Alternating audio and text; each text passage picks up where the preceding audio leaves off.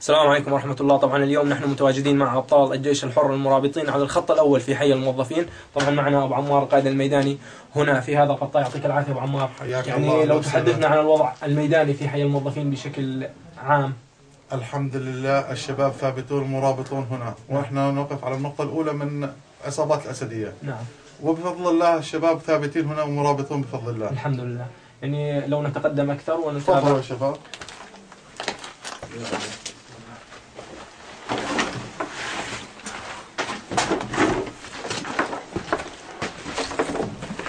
هذا الخط الأول. نعم. مرابطون به هنا تقع في هذا البناء عصابات أسدية يعني نحن الآن على مقربة كبيرة من قوات. هذا النظام. من هنا نستطيع أن نرى الأبنية. في هذه الأبنية.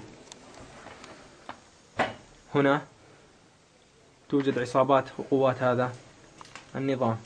هذا ما خلفه دمار. ونظام بشار الأسد في هذا طبعا. كما ترون آه، للانتقام من هذا الحي ومن صمود أبطال الجيش الحر الآن النظام يعمد إلى تدمير هذا الحي دمار كبير جدا يعني دمار شامل. طيب آه، اليوم قوات النظام كل يوم يدعون أنهم سيطروا على حي الموظفين في قنوات الإعلام كالدنيا والإخبارية السورية. ماذا هذه ذلك؟ الدنيا هذه قناة الدنيا. فأما نعم. نحن ها هي حي الموظفين فأين هم؟ آه نحن نتواجد في هذا الحي. يعني وهذا الخط نطمن بفضل الله. الحمد لله. نطمن أهلنا ونطمن جميع موجودين أن نحن ما زلنا في حي الموظفين وهذا حي الموظفين. أين هو أس- أين هم رجال الأسد كما يدعون؟ نعم. طبعا سوف نتابع ونلتقي مع الشباب المرابطين هنا في حي الموظفين.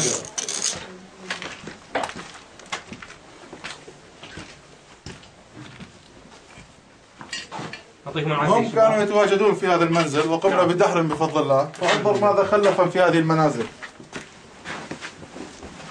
يعني كما ترون هذا ما تبقى من هذا المنزل ومنازل حي الموظفين. دمار كبير جدا. طبعا نتابع هذه الجولة مع أبطال الجيش الحر المرابطين في حي الموظفين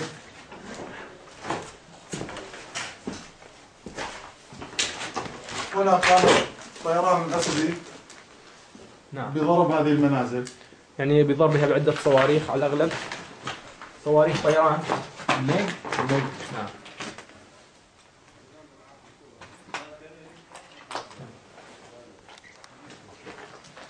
معنا أيضا هنا أحد الشباب يعطيك العافية أخي الكريم. يعني. بما أنك أحد ابطال الجيش الحر المرابطين في حي الموظفين لو تخبرنا لواء المرابطون لو تخبرنا يعني عن هممكم وحالكم اليوم وأنتم على مقربة كبيرة من قوات هذا النظام.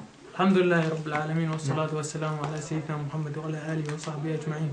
بفضل الله عز وجل والله هممنا عالية جدا. ونحن آه نعم.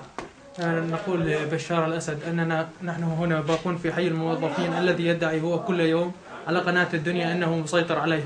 وها نحن هنا متواجدون إن شاء الله.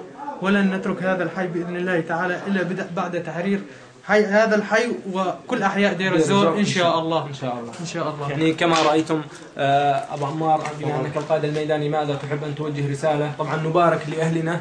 وأخواننا الذين تمكنوا من تحرير فرع الأمن السياسي طبعا هي الحمد خطوة لله الحمد لله رب مفرحة العالمين. وكبيرة جدا. الحمد لله رب العالمين نوجه نعم. رسالنا إلى جميع إخواننا المهجرين بأننا ثابتون ولا نطلب منهم سوى الدعاء نعم. ونقول المقاتلون بإذن الله الثبات الثبات الثبات الثبات إننا منتصرين بعون الله وما هي إن شاء الله الأيام معدودة تكون ديرزر محرر بفضل الله وإن شاء الله إن شاء الله وإن شاء الله سنتجه إلى دمشق. بإذن الله. وللذكرى بس إنه دير الزور بفضل الله أكثر من 80% هي محررة. نعم. والحمد لله رب العالمين على ثبات الشباب. الحمد لله. إن شاء الله. طبعا هذا هو حال حي الموظفين وحال أحياء مدينة دير الزور، الدمار يعم المكان وحلقات الدمار المتكررة واليومية.